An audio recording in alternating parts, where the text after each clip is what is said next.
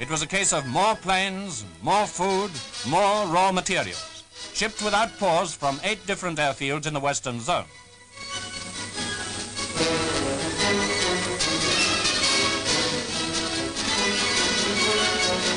Month after month, the tempo of flights was stepped up, and by Christmas, American and British planes had made 100,000 trips and carried a total of 730,000 tons into Berlin.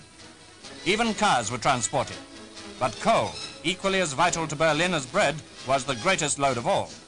Over one million tons have now been flown in.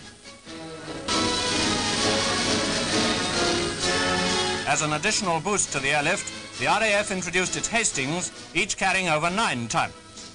At the three airports in Berlin, Gatow, Tempelhof and Tegel, aircraft were landing or taking off every 90 seconds. Many notabilities visited Berlin to see the workings of this magnificent achievement and to praise the great work of the British and American ground and air personnel. Chief of the Air Staff, Lord Tedder. And the Foreign Secretary, Mr. Bevin, whose diplomacy was much aided by the success of the airlift.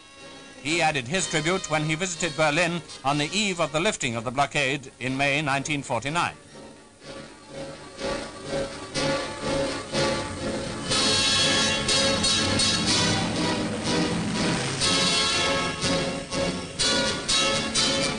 For 10 whole months, a ceaseless stream of Allied aircraft landed in Berlin, where Germans, supervised by British Army personnel, eagerly unloaded the vital supplies.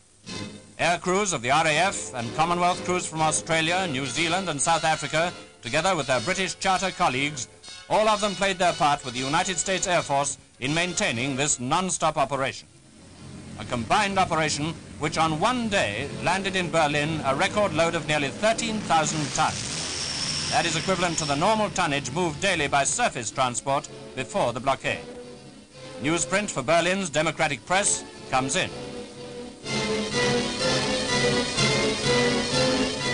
Mail for the outside world goes out.